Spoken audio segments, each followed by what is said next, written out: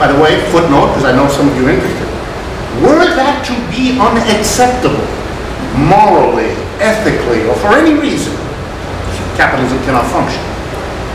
All workers, consciously or not, must accept that the labor they've done, their brains, their creativity, their enthusiasm, their skill, that's embodied in these raw materials, tools, and equipment to transform them into this other thing that they have, having done the work, made the transformation, they must accept they have neither claim nor right to any of it. It's instantly and automatically somebody else's. Footnote, if I had time. Marx and a whole enormous field of Marxian psychology and Marxian sociology has been fascinated with what I just said for a long time. And one of the words under which their fascination has been expressed is called the theory of alienation. That enormously important things happen to human beings when they are torn away. Notice the language, I want to dramatic, make it dramatic for you. When people are torn away from their own product. But we don't have the time to do that. So capitalism involves the capitalist in this activity. But notice, the whole point and purpose of the capitalist is begin, to begin with a quantity of money, M, and to end with a quantity of money, M prime, that's larger. The whole point of the exercise is to end up with more money than you began with. The difference, the extra money you have at the end compared to the beginning, that's called surplus value. The point of a capitalist is to end up with more surplus value, to have more money at the end than at the beginning. So now let's look at this closely. The capitalist starts, let's say, with 100, and he buys 50 worth of means of production and 50 worth of labor power. So he has 100 in money, now he has 100 in these two things. And then he puts them together and he ends up with a commodity, which he sells for money. This commodity has to be more than 100 or else he's not doing what he's supposed to do and not what he wants to do.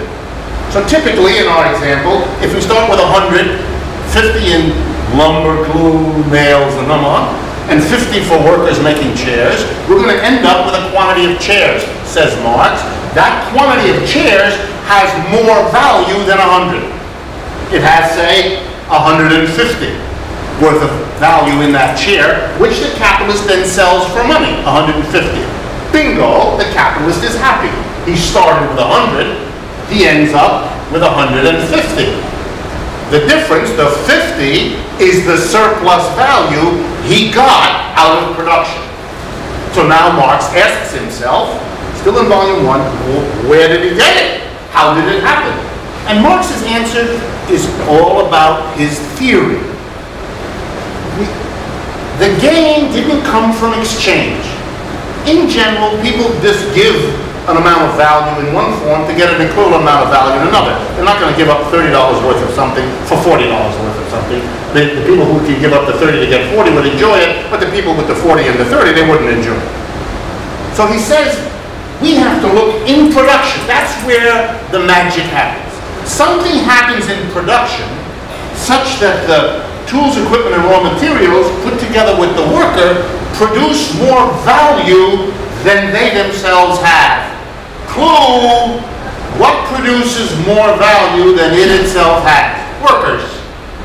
You pay the workers their wage, but they produce for you more than that. So the value of the chair is got in it the value of all the tools, raw materials, and equipment used up, plus the value added by the worker. But what the value added by the worker is, is more than the value he's paid. And we already went through that. Therein lies, as Marx puts it, the secret of capitalism. The extra that the capitalist has at the end, the surplus he gets, the whole point and purpose of the capitalist to end up with more money than he began with. The reason he has it is because the workers produce more than he pays them. They collect that, it's embodied in those shares and realized by the capitalist when he sells it. And with his 150, he now commences the next round of chair production on a larger basis. He starts with 150 as compared to the 100. That's the basic idea. Okay, so that's how surplus is produced. That's where it's produced. The workers who produce goods and services for an employer who gets the goods and services and sells them in the market, sells the shares for money. That's what all capitalists do, and we have located who produces the surplus? The workers. Who gets the surplus? The employer. So Marx has done the first part of what he promised. He has identified in capitalism who is doing the surplus producing, who's getting it, where this happens, and how it's organized. That's all preliminary. Now we begin for what's new today. We're going to ask the next logical question. What does the capitalist do in capitalism with the surplus he gets from the worker? In the case of modern capitalism, I'm going to show it this way. I start with this little rectangle. I've got it divided into two parts.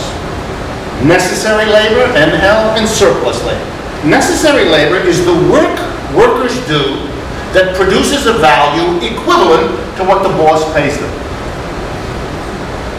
to use simple language, it's the part of the work workers do where they get the fruits of it back to themselves in a sense to consume.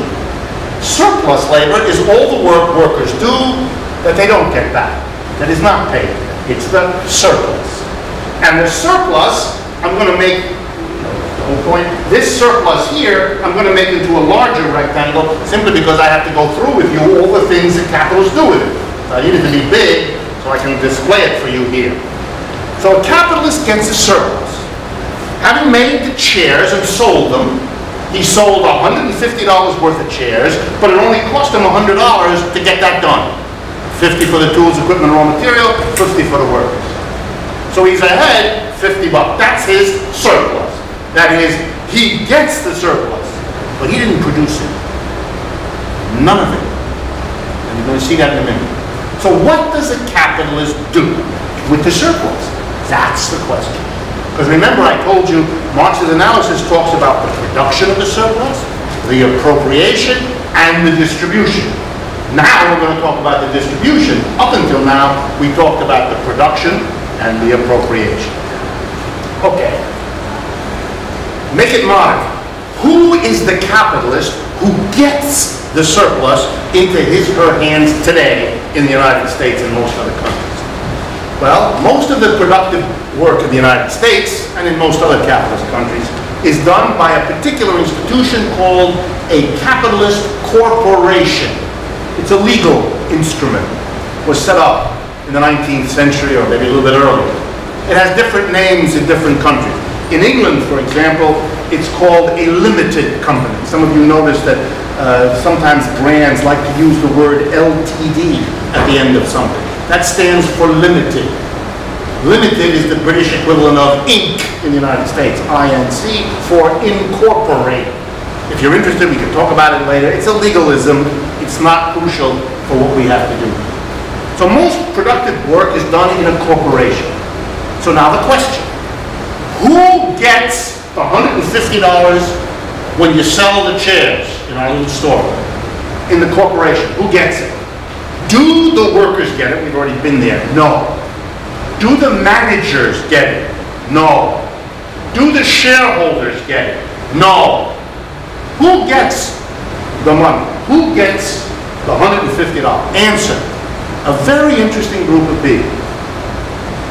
Not a single person, unless you have a capitalist who's an individual capitalist, and there are very few of those, and even if you add them all up, they have many numbers, but they don't do a significant amount of the business in the United States. The overwhelming bulk of business in the United States is done by corporations.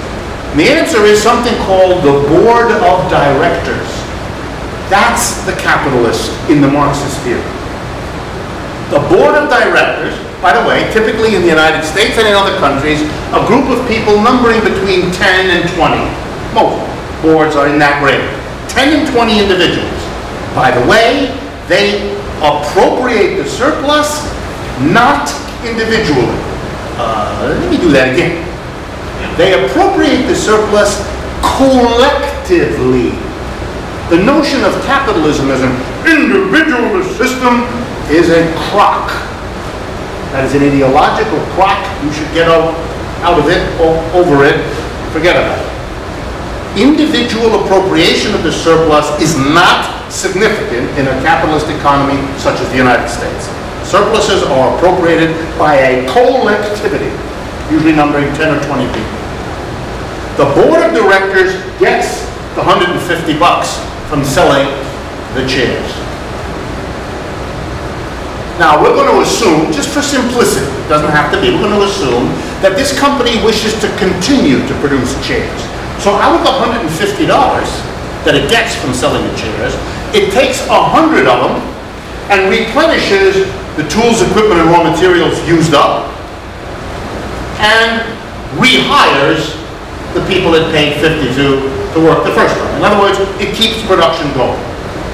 So we're going to focus our attention on what it does with the other $50, with the surplus it got. The whole point of the cap was to get that surplus, to make his 100 become 150.